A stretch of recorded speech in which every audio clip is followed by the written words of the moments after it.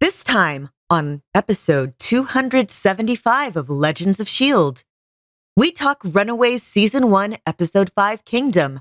We talk weekly Marvel news and we talk your feedback.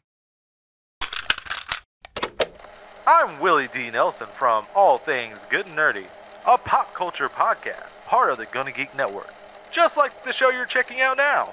Shows on the network are individually owned, and opinions expressed may not reflect others. Find other tantalizingly geeky shows at GonnaGeekNetwork.com. You have been granted clearance by director Alphonso Mack Mackenzie.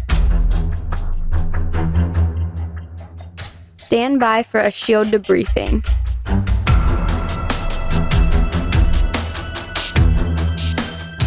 All information to be discussed here is classified and may only be discussed among agents granted clearance by the SHIELD director. Now it's time for your scheduled debriefing. I'm Director SP. I'm Agent Haley.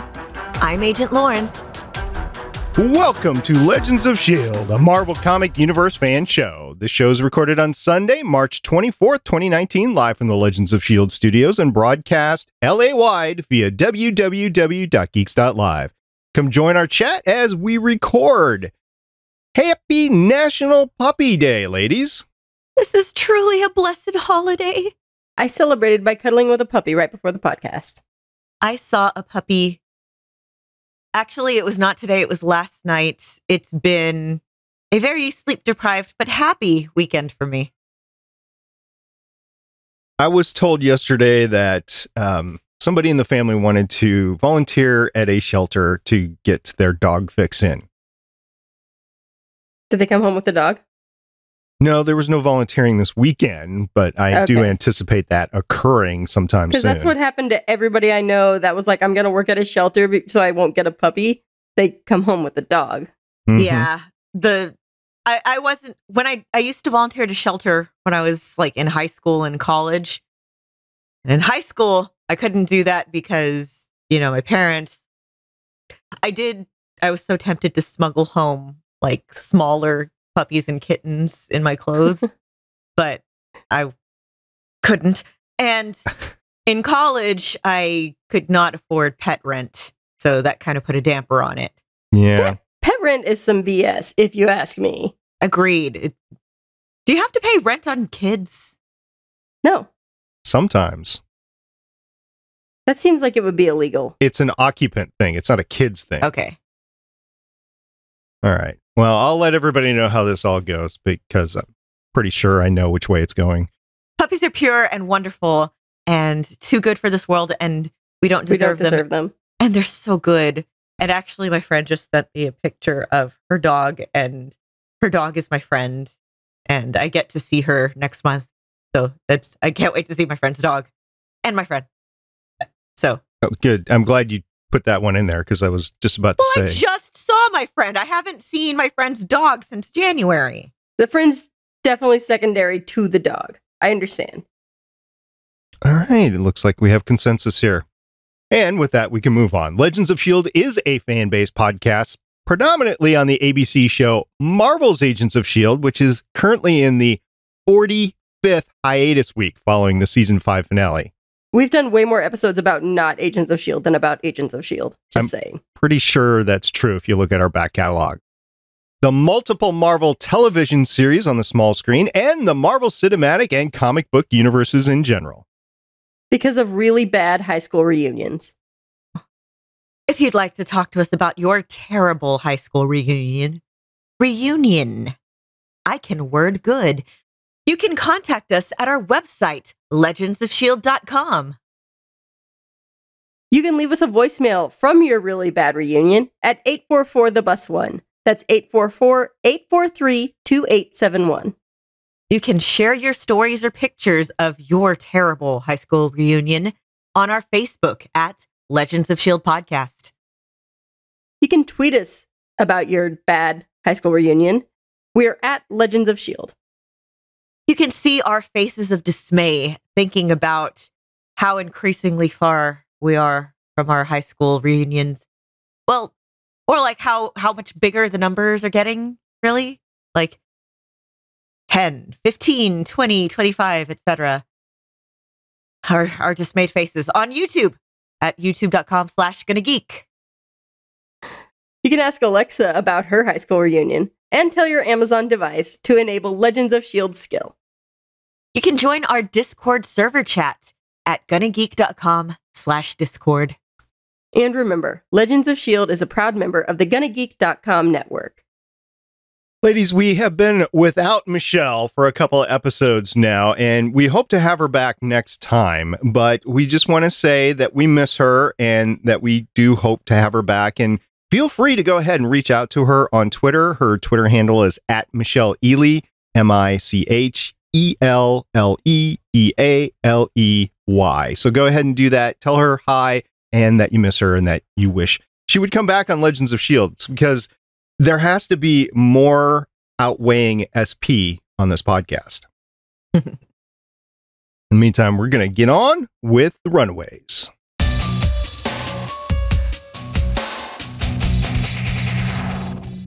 We're going to talk Runaway Season 1, Episode 5 this week. The episode is titled Kingdom. It aired on Hulu on December 5th, 2017. So we're still within that two year window. So we feel like it's a new episode.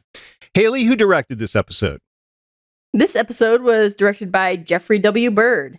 He has 24 directing credits starting in 1997.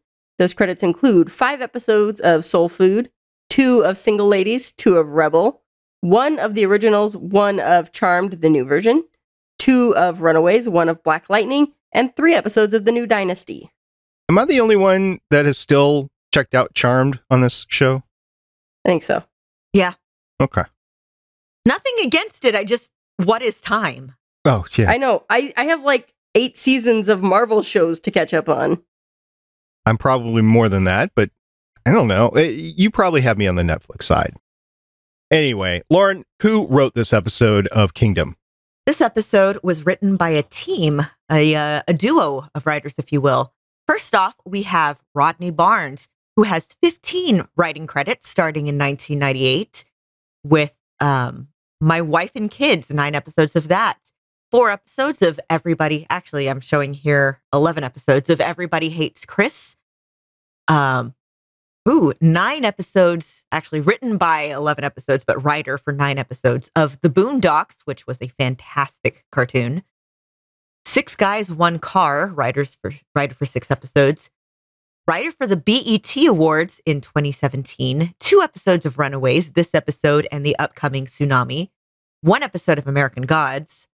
And just fun fact this is not his first encounter with Marvel. He is also listed on IMDb as miscellaneous crew for Blade in 1998, Nice. which Guys, when are we going to watch Blade? I know I love that movie.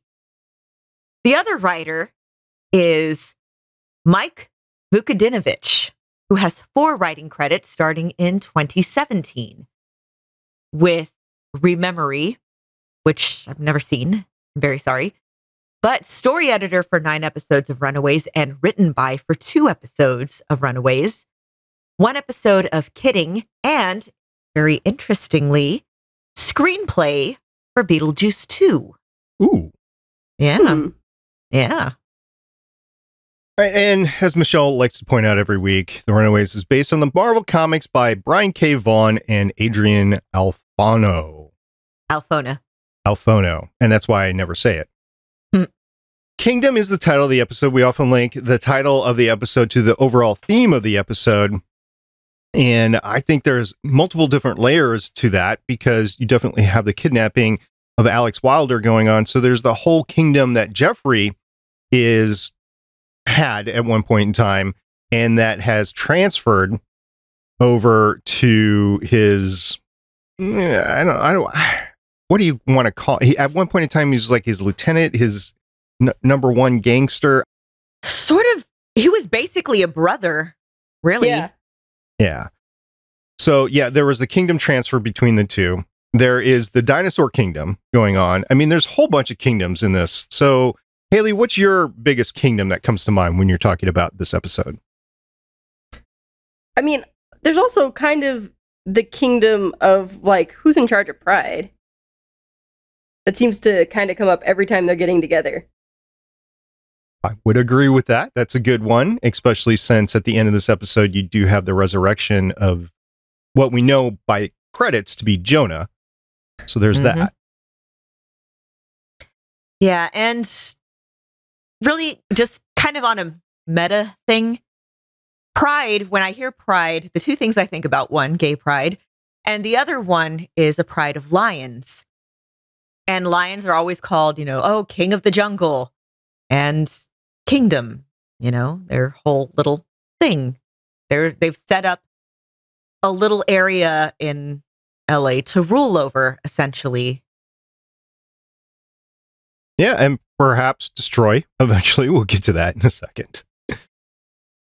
It does start, the episode starts out with the whole Alex being kidnapped because that happened last episode. So everybody's dealing with that and trying to save him. We get a phenomenal team fight. It's the first team fight of the series because everybody's figuring out everybody other's powers and they're using them and they were pretty effective. I mean, not so effective in tipping their hand the fact that they do have powers, but they get to use them.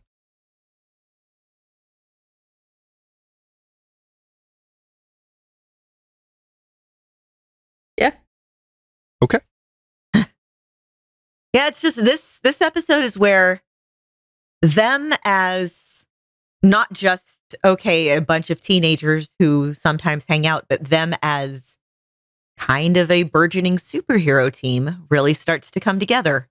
Also, this is kind of the point in the season where it picks up a little bit. Um, I was explaining to my girlfriend, like, she was like, well, what is this show about? And I was able to summarize the first four episodes in about two minutes. Pretty much. It's been a fun watch though, the the Right. first four episodes. If you've missed these episodes, like, you can catch up and know what's going on. Especially since the first two episodes were covering the same time period. Yeah. Yeah, so we see finally we've been talking, I think we talked the last episode about how every time Molly is like, "You guys are really strong." Everyone's just like, "Yeah, yeah, pat on the head." And here she finally gets to show it. And we have her, you know, kind of spilling the tea about, oh, yeah, Gert has a dinosaur. And we have Chase showing up with the fistigons. And we have Nico with the staff of one, which I guess we don't know that's what it's called yet, but magic staff. Oh, thanks. I was wondering if it had a name. Yeah, it, it doesn't get that in the first season, I don't think, because Ah. I don't remember that. We have Carolina taking off her bracelet in front of more than just Chase. And using using the power projecting, not just like pretty lights. Yeah, not just we I glow, but using it, using it. I liked Gert's response to that, by the way. Oh, great. Not only is she pretty, but she glows too. Yeah, if you've again, it's the, very much that teenage girl experience. We're I don't know. Again, I I have never been a teenage boy. I don't know how it is for teenage boys. Teenage girls are pitted against each other. And there's there's nothing kind of more humiliating than being upstaged and outshone by someone like that just kind of so effortlessly sometimes. It, I mean, again, I also don't have the experience of being a teenage boy, but it seems like they are given outlets for rivalries that come between them. They are pitted against each other in structured competition most of the time, whereas girls are kind of pitted against each other in more of a social arena. Yeah. Yeah, girls it's like oh god, I just sudden flashbacks to middle school and high school. It Yeah, I just lived through a, a whole lifetime of Bring It On, basically. So I'm kind of aware. I didn't have to go through it personally, but I'm kind of aware what happens and all the drama and stuff like that. For teenage boys, it's mostly trying not to get your butt kicked for four years or so. That's pretty much what high school is all about. Yeah, I, I went to a high school where you had a little bit of that element with the, you know, the the gangs and stuff with girl gangs. Oh my god, girl gangs are vicious. You have not lived terror until you have seen uh, two cholas jump across the table and try to rip each other's earrings out of their ears and each Eek. other's hair out. It's it's vicious. It's terrifying. But there's also that incredibly horrifying, just passive aggressive. You know, I'm taller than you. I have bigger boobs than you. I'm richer than you. I'm I have more power than you. I have more social cachet than you. Oh, I'm sorry. Were you it, it's that that when you hear people do that impression of some that like the the, the sorority girl, quote unquote, I'm sorry. There's there's a reason it always starts with that because it's we're we're socialized to be that passive aggressive. So again, much as I'm like, oh come on, it's it's BS that we're pitted against each other that way. At the same time, we are pitted against each other that way. And it seeing that and hearing that, it just brought me back to feeling about two inches tall. I was a little bit surprised at Carolina being able to drive like a maniac and then not get caught by any cops as well. I thought that was a little far fetched in a well patrolled neighborhood. First off, Waze has a little. Uh, again, I am not condoning anything illegal, but I am saying Waze has little like you can report if you see cops on the road, so you know to slow down. And the other thing is, she's a pretty white girl. Yeah. So it doesn't matter if she gets caught. All right. Well, I don't think if you're in the middle of a car chase that you're going to use Waze, but maybe Totally should. Next time you're in a car chase, everybody. with a staff, magic staff on board. Yep. Mhm. All right. Alex, for his part, he's been kidnapped by Darius, the brother of Jeffrey, so to speak, that we were talking about before. And then they get in a little confrontation eventually because Darius wants a million dollars. I think he wants more than a million dollars, but he's going to start the shakedown at this point with a million dollars for Alex. Wants a million dollars, takes it to takes him to Nana B's house, and they're waiting for Jeffrey to show up with the one million dollars. And that's when everything goes down because Jeffrey brings his guys with guns and there's a big gunfight. And ultimately, what happens here is Alex shoots Andre, which totally surprised me. I did not think Alex was going to go there. Yeah, Andre, by the way, is just this kid on Darius's team. He's he's a hacker. He's smart. He and Alex have a little discussion about, oh, you think that it's only smart rich kids who can learn to code? Like he's the one who cloned the phone in what was it, the first episode, second episode? He's also like who Alex might have become if his father hadn't taken the path he did. Exactly. And I think Alex sees that because, again, Alex, not a dumb kid. And he's starting to have his eyes open to exactly what kind of person his dad is. It's not just, oh, my dad p- might have participated in a human sacrifice.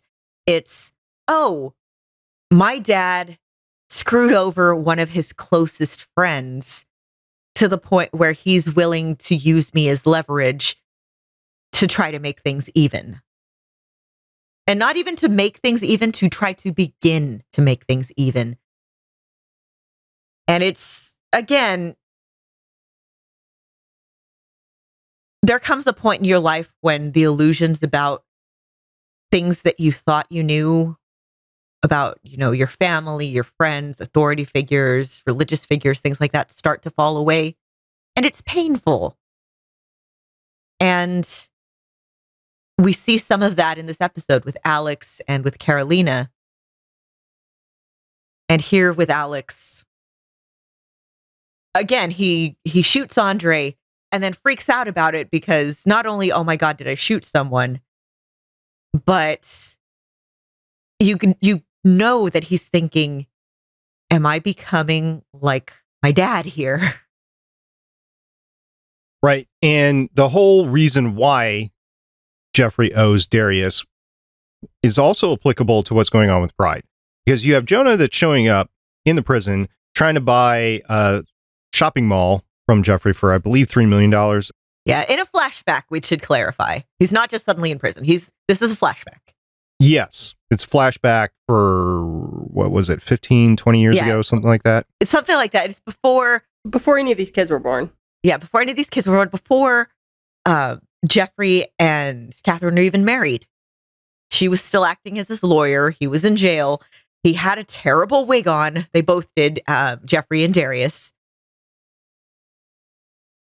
And in order to get this deal that's going to be life changing for Jeffrey's gang, he needs Darius to take the fall for killing this guy that Jeffrey's in prison for.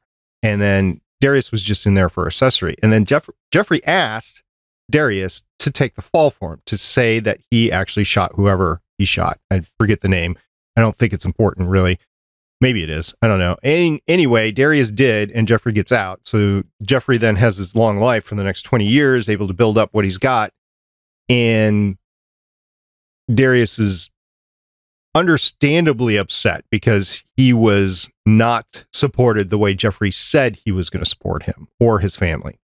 You know, when your friend is like, "Hey, can I borrow? Can can you buy me lunch?" And you're like, "Yeah, sure."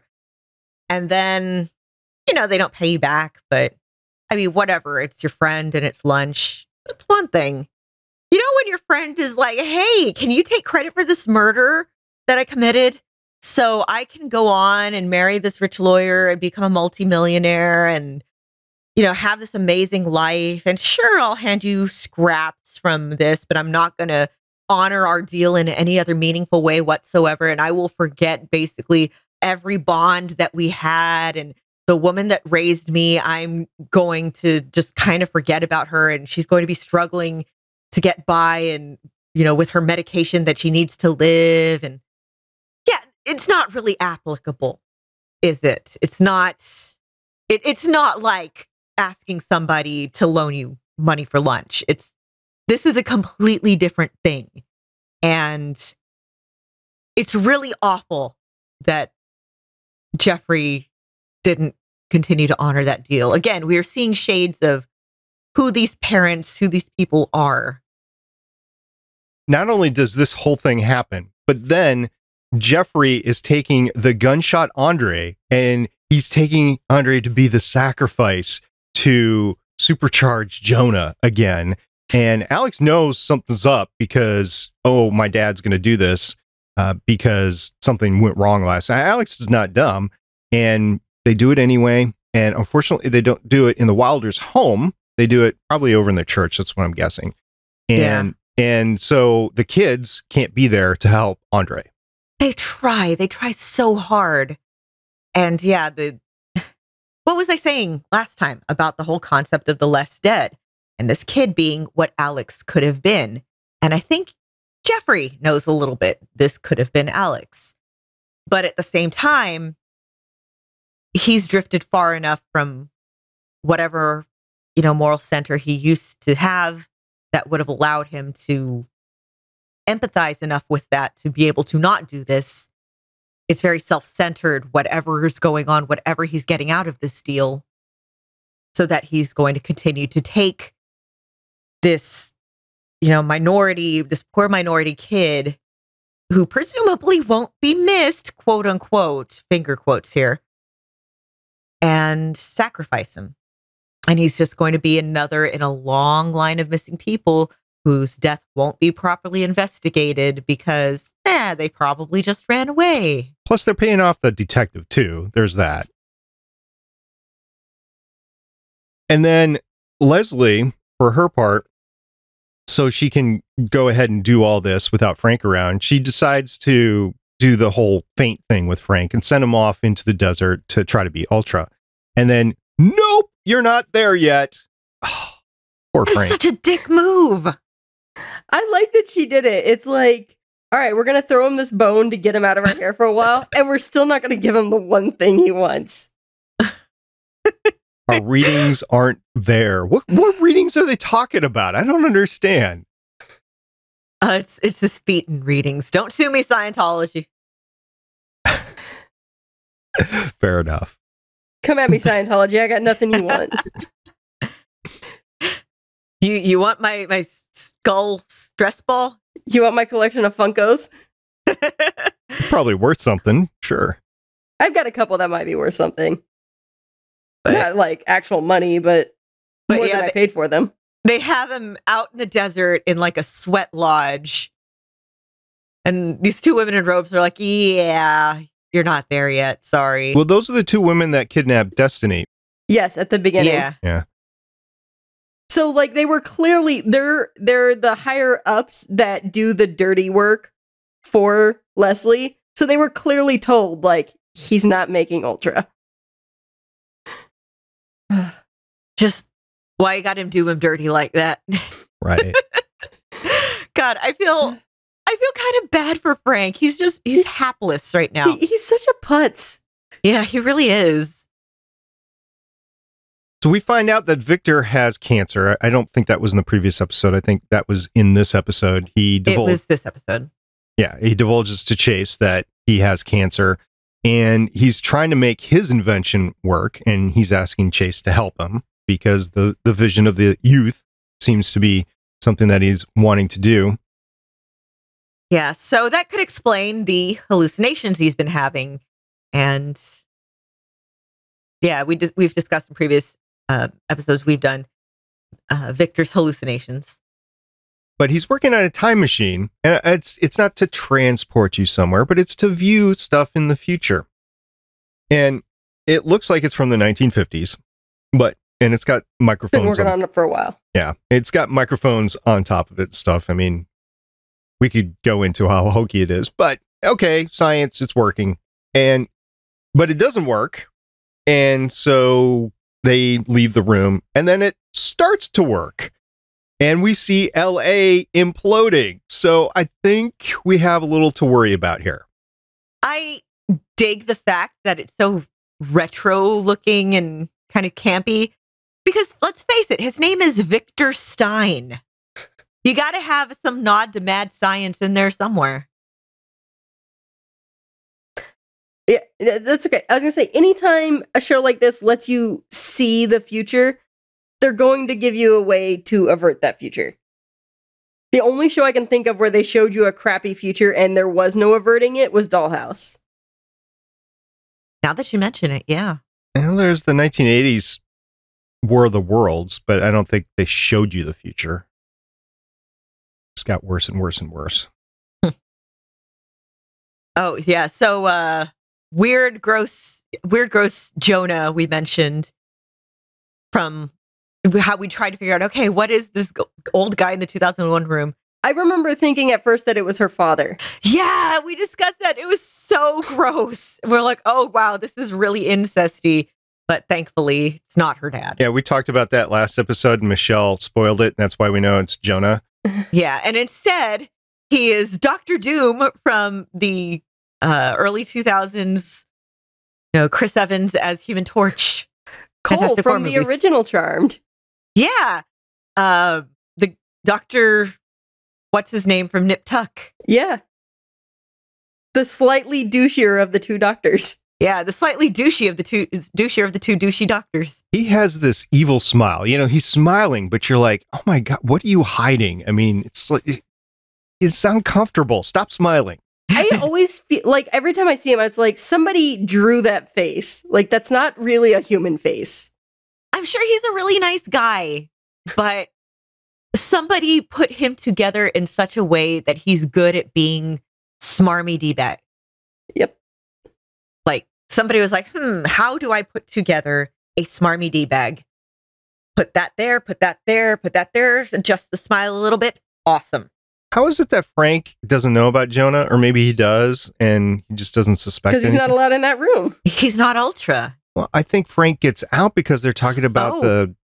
And they mentioned he's like, "I want to see her. I want to see our daughter." Oh my gosh, Leslie's face when that happened was like. She's just like, this is fine. It's not fine. no.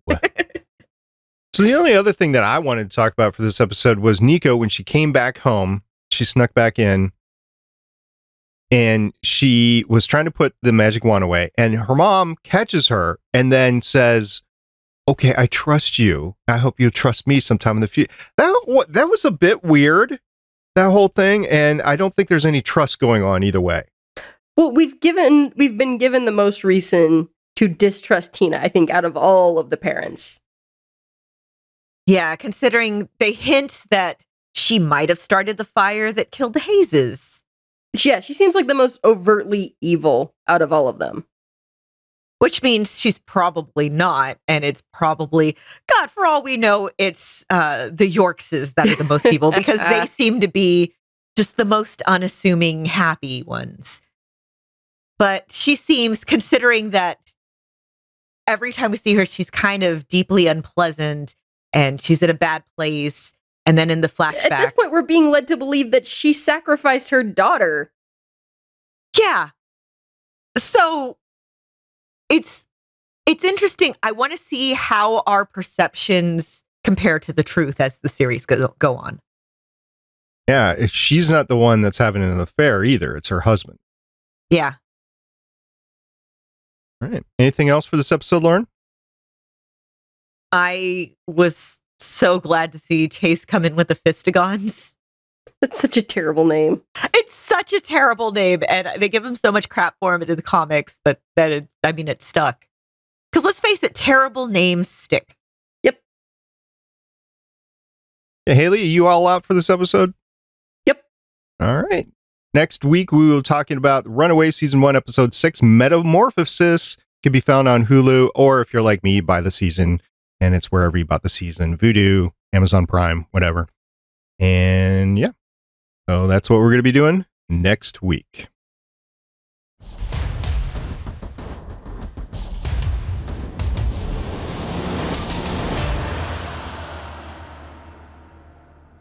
All right, news time. First up, the Russo brothers put fake scenes in the Endgame trailers. All right. So the latest Avengers Endgame trailer was out, uh, what, a couple weeks ago? A couple days ago? I don't remember. I've slept.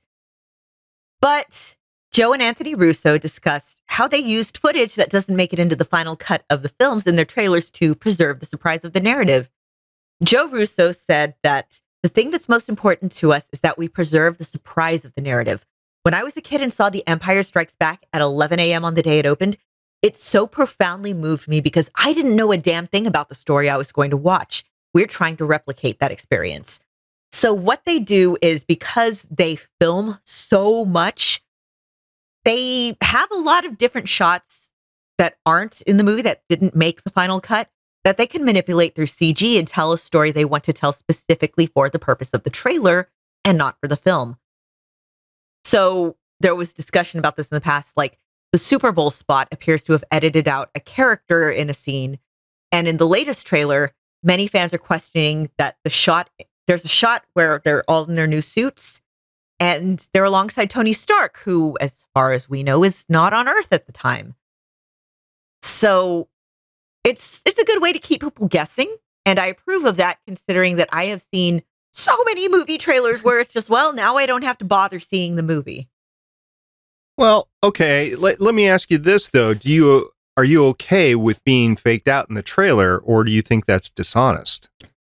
Um, as long as it preserves the feel of the movie, I'm fine. Well, they did this also in Infinity War. Um, there was the big battle scene in Wakanda, and it showed the Hulk there, and he was Mhm. not there. Yep. And there were a couple other scenes in the trailer where characters were edited out as well. Yep. All I what I want is again, I want to know the feel of the movie. I miss the old timey I miss old timey trailers. I miss like the not really in a world, the the Don LaFontaine in a world trailers, but just the ones that kind of give you a feel for what the movie's about instead of just here's a bunch of scenes and it we're leading you and here's where you can kind of put together if you analyze the trailer enough you can put together what's going to happen to the movie. Or uh, god i forget what movie it was but i was sitting down to watch a movie the trailer happened, I was like, well, I don't need to see the movie now. I have seen everything that happens in the trailer. Or there was one that came out last year that gave away the twist in the trailer. Oh, I remember there was that a dog's purpose, whatever it was, the, the one where the dog got lost and came home. You mean a journey home And yeah, whatever it or was. an incredible journey or whatever? No, no, it wasn't Homeward Bound. It was one that came out last year, the, where the dog makes friends with the mountain lion Right. or whatever. It's been done before. That's It, my only It's been point. done so many times, but the thing is, compare the trailer for that movie with the trailer for Homeward Bound that came out what was like almost 30 years ago.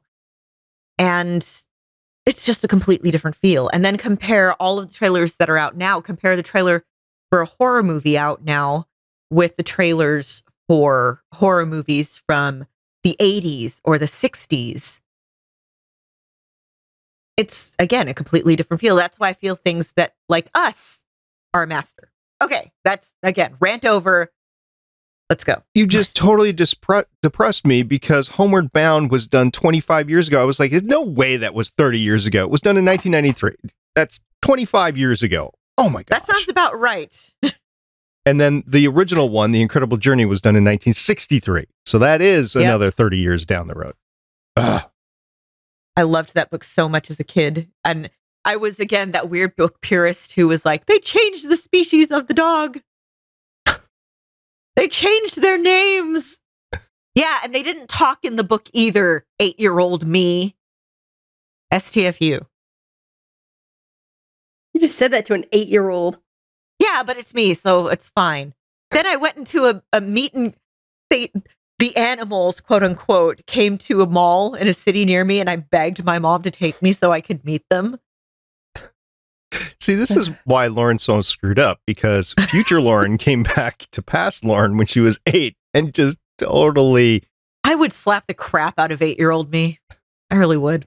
So we can Anyway. give you a time machine. Yeah, this is why I can't have a time machine. First of all, I would just completely screw with the Puritans. And second of all, I would go up and beat up eight year old me.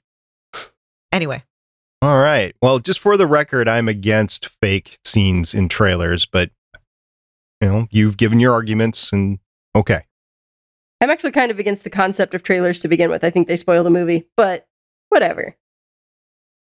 Speaking of upcoming movies, uh Black Widow movie's happening, and it's rumored that the villain will be Taskmaster.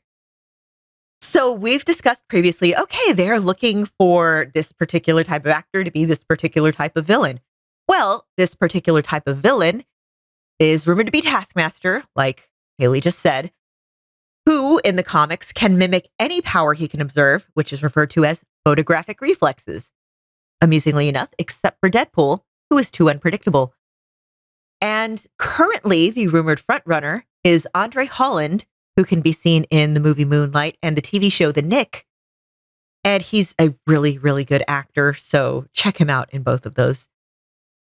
And I really like Taskmaster as a villain in the comics. He's not always a villain. Sometimes he's a good guy. He was actually an instructor in Avengers Initiative, the comic. So good job. And another rumor, Haley, about Black Widow. Yeah, more Black Widow rumors. Florence Pugh is going to be joining the movie. So we discussed a couple weeks ago, oh, hey, Emma Watson might be joining in this kind of kick ass secret agent role. That seems to have fallen through. And currently, the rumored frontrunner for that part is Florence Pugh, who you can see currently in Fighting in My Family. And you can also see her in the Robert the Bruce movie with Chris Pine on Netflix. And she's amazing in that. So I'm in favor of her. I really like her. Marvel, however, has no con no, I was about to say no conflict, no comment on the news.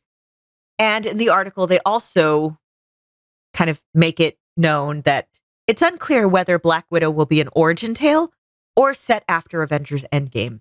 So, shrug. but it looks fun. I mean, we've been wanting this for a while. I've been Yep. wanting this for a while anyway. So, Yes. hey, And then we have a few more casting rumors. Um, Shang-Chi is an upcoming Marvel film, and it's rumored that they might have found a lead for it. Okay, we've talked about Shang-Chi a little bit before, and it's going to be the studio's first movie tentpole franchise with an Asian hero. Chinese American writer Dave Callaham, we've mentioned previously, has been tapped to pen the strip, the, the script. And so far, the uh, a source close to a website called We Got This Covered, so take this with a grain of salt, has said that Marvel has their eye on former Walking Dead star Steve Yeun, who you might know as playing Glenn on The Walking Dead and who's been in a whole bunch of movies lately and is generally really awesome, might be playing Shang-Chi. But there's another rumor that said that Mike Moh could be kind of in the running. Now, where do I know him from? You might say, well, a trailer for Quentin Tarantino's Once Upon a Time in Hollywood just dropped. Mike Moh is in that as Bruce Lee. And uh, where have we seen him before? Oh, yeah. He was Triton in Inhumans, aka was only in it for like two scenes and died. But and was covered in pretty was, thick prosthetics. Yeah. But is actually a good actor despite that. And is actually a really good martial artist. So would not be a bad choice and should be, I think, given a chance to redeem himself, if not in this project, in many others. I'm impressed that you guys remember anything from Inhumans because I brain bleached that entire series. I wish I could. There was some really good casting. The writing and directing was less than stellar. Yeah. But the casting was honestly pretty. Again, these actors the actors that were in it weren't shrugs. They were good actors who were given less than great material that they couldn't. You can only elevate stuff so far. Let's make let's put it this way. The series was so bad that the network almost didn't cancel it, just let it die by not canceling it. They almost forgot that they hadn't canceled it yet. we talked about it before. Yeah. yeah. Uh, they just kind of ghosted it. Ryan Reynolds' Deadpool is the only character not being rebooted by the Fox Disney merger. So, we've been discussing this for a long time, and the Fox Disney merger finally happened. Now, whether this is a good thing or a bad thing, up to a lot of discussion. I will say there are a lot of jobs being lost from this, which is not great. On both camps, not just yes, with the not Fox. just with Fox. It's a lot of jobs on both sides. I do not like that. But just on a positive note, just something to make you smile. On Tuesday morning, so that would be uh, March 12th. Wait. March 19th. Ryan Reynolds tweeted a photo of Deadpool on a school bus sporting Mickey Mouse ears and said, feels like the first day of pool. So while Kevin Feige is supposedly meeting with several members of the X Men Old Guard writers in recent months, and Disney is supposedly deciding on the fate of New Mutants after seeing it, and Noah Hawley who was supposed to write a Doctor Doom movie, confirmed that he's spoken to Kevin Feige. So we don't know if that's going to happen or not. All of these Fox projects, all of these X Men projects are all up in the air. But Deadpool is still just a really huge success. And it seems like they're just going to leave that alone. Don't mess with success. Everybody loves it. Shrug. I mean, keep on doing what you're doing. Just kind of leave that alone. Pat, pat, pat. I guess the only problem with that would be that one quick scene where he opens the door in the X Men mansion and you see characters from the rest of the X Men universe. I think that's the only link.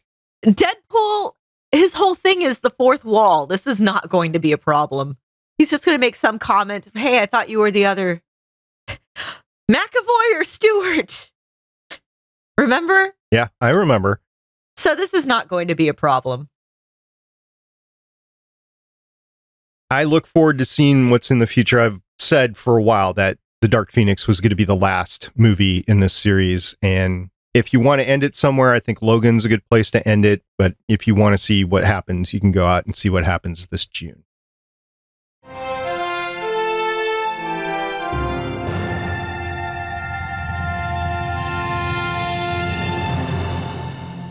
Thank you very much to everybody who has talked with us in the various social media, including some emails. So we do have some things to talk about this week. Lauren, what happened on Twitter? All right. Uh, we have gotten a whole bunch of feedback, but I have done a little bit of picking and choosing. And from at Adana Girl, helping my mom clean out cabinets. She had a box of baking soda that expired in 2005. Do you think the free Blockbuster DVD or VHS rental offer on the box is still good? Hashtag Captain Marvel. yeah. Mm, there's at least there's one Blockbuster still around. So I mean, try taking it up there. I don't. Ah, wow, if they do have VHS to rent, I don't think they do, but okay or DVD. The final Blockbuster store, by the way, is in Bend, Oregon. So you can try taking that coupon to Bend, Oregon and see what happens. And you know where the they are so far behind the times that they still have a blockbuster. There was one in Alaska that had, thanks to John Oliver, Russell Crowe's cod jockstrap yeah, I was going to say crotch guard, but no, jockstrap from uh, Cinderella Man. Oh, I thought it was from Gladiator. Was it from Gladiator? I thought it was from Cinderella I think it was Man. from Gladiator. It's the big leather one. Yeah. That's from Cinderella Man. And he, they also had some other stuff that he bought from Gladiator. But anyway, that one went under last year. So now there's only one blockbuster left. We also had some news over on our Discord to talk about. Yeah. So, speaking also of Captain Marvel, Johnny Bacon said, I'm torn. Oh, oh, on the subject of us almost having our Captain Marvel episode out. Knowing how strongly I disliked the movie and that I'm sure you are all celebrating it as the best thing out of Marvel, I'm concerned of the effects of tuning in. Will you convince me it isn't as bad as I thought, or will your swooning over what I consider horrible directing just annoy me more? Well, I mean, I guess there's just one way to find out, and that's by listening. All movies are not for everyone. I happen to love it. I don't think it was a perfect movie, but I think it was a fun movie. And that's really all I ask for. And I was going to see it again this weekend, but then I had only gotten four hours of sleep last night and was like, I know I need sleep too much to go see this movie at 10 o'clock at night. I climbed a mountain yesterday. I didn't have time to watch movies. I mean, fair. My legs hurt. Also fair. My leg hurts, but that's because uh, I slipped in the shower. So I Wow. cannot recommend that experience. Same. Do we need to get you a shower chair? I have considered. I wanted this. one so bad yesterday after the hike. Yeah, I, I have seriously considered this. But yes, if again, all movies are not for everyone. There is no shame in not liking a movie. Your opinion is your opinion. Much as I'm like, no, this is, you know, objectively the wrong opinion. No, I'm again, I am joking when I say that. Opinions are opinions. If you like a movie, if you don't like a movie, it's a movie. But if we say we like a movie and you don't like it, there's no need to go point by point with us through everything that is wrong with the movie. Also, Yeah. some people have felt that need if I said I liked Captain Marvel. yeah it's again it, it's it's kind of the same thing with sex don't yuck someone's yum generally speaking That said, it is perfectly fine for somebody to send in feedback to talk about. yeah it's it's fine to be like hey this is it, like i would like to know what you didn't like about it just because just honestly i want to know what didn't work for you but it's again much like in therapy and stuff me centered language is always preferred over you centered language just as a general life tip And as an example, we actually have an email from a listener that hasn't listened to our episode yet, but had some things to say about Captain Marvel. It was from 084 084. I was going to say OH4, but it's 084. and 084 had these to say. Hey guys, I'm still working my way through your backlogs. Just wanted to share some speculation I have. Great podcast, by the way. Just had a thought while rewatching Age of Ultron prepping for Endgame. There have been rumors that Captain Marvel's sequel may not be taking place in present day. At first, I wasn't sure about it. It's a little close to what Wonder Woman's doing. Then things started making sense. Ronan obviously has much more story to tell. He didn't leave the movie on a clear path to where he was in the first Guardians movie, so he could definitely return if the sequel takes place before 2014. But there's also the Supreme Intelligence. This movie was the first time we ever heard the Al Kree leader mentioned at all. None of the Kree on Agents of S.H.I.E.L.D. referred to it, and it doesn't come up at all between Nova Prime and the Kree she was Skyping with. So, where did it all go? Well, what if the Captain Marvel sequels deal with another Infinity Stone? It could be that in order to save itself from Carol, it transferred itself into the Mind Stone, which the Kree potentially could have used to alter or erase Carol's memories when they took her, because that still isn't explained. Or perhaps the Supreme Intelligence is the Mind Stone, which could explain how an AI is powerful enough to run its own planet. Maybe in a post credit scene, a defeated Ronan shows up to Titan with the stone for Thanos, who we know lends it out to Loki later on. There are some small things that work against this theory. Phases 1 through 3 have been titled the Infinity Saga, so it might seem a little out of place to stick a stone into a Phase 4 movie if we're going to leave Endgame not worrying about them but it would be a nice explanation for Age of Ultron and why the consciousness in the Mind Stone was so powerful and so skewed towards evil. It could also explain why Vision apparently didn't get any of Ultron's malice if the creation of Ultron separated the Supreme Intelligence from the Stone. Just some thoughts. Until next time, 084. I've actually been discussing that this weekend with uh, a friend and I honestly agree. I think that Captain Marvel 2 is not going to take place in present day. I think it's going to take place, like 084 said, in the in between time between Guardians and Captain Marvel. Because, yeah, Ronan, there's kind of a hanging thread there left with Ronan and the Supreme Intelligence. And if you look up stuff about the Supreme Intelligence in the comics, there's a lot of stuff there with Ronan and the Supreme Intelligence. So, yeah, let us see, let us see Carol kind of forcing the Kree into all these peace treaties. Let us see Carol versus the Supreme Intelligence. That would be really cool. And I don't know. We know that moving forward, Carol's going to be effectively taking the place of the center of the Marvel Cinematic Universe. I don't know. Just I give us more. I want more. yes.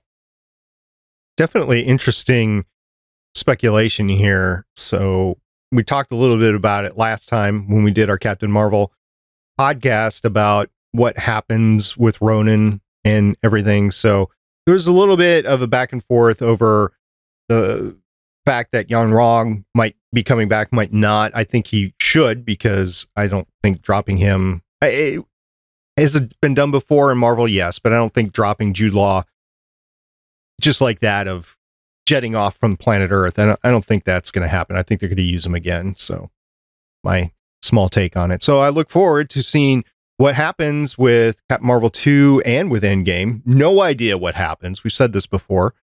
So we've got a month until it happens. And then we'll find out what the post credit scenes are like, right? Oh, yes. Oh, yes. Well, in that light, we're going to go ahead and use our crystal ball and we're going to see the future and we're going to walk right on out.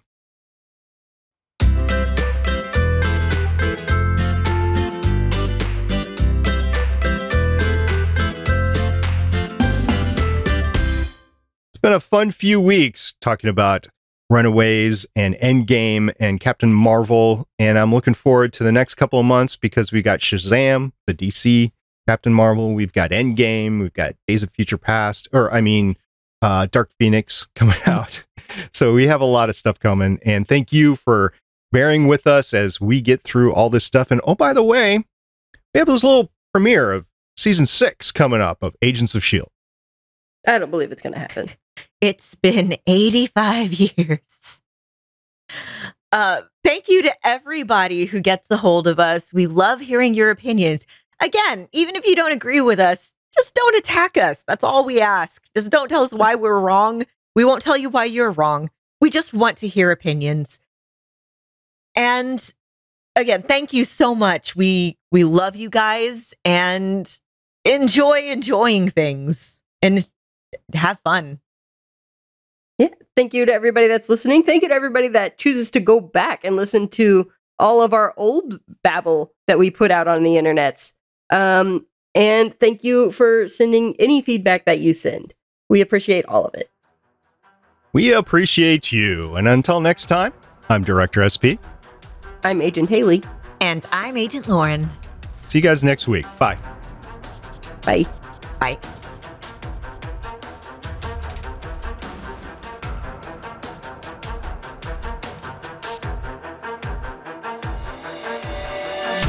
Thank you for listening. If you want to leave us feedback, go to gonnageek.com and you will find all our contact information and other shows. You can also visit legendsofshield.com where you'll find our complete archive of podcasts. The music heard on this podcast is by Kevin MacLeod, found at incompetech.com, and also artists on pond5.com and audiojungle.net. The opinions heard on this podcast are those of the individual hosts and do not represent Stargate Pioneer Productions, Legends of S.H.I.E.L.D., or Gonna Geek. Agents of S.H.I.E.L.D. is the property of the Disney Corporation, Marvel Studios, and ABC. No infringement is intended.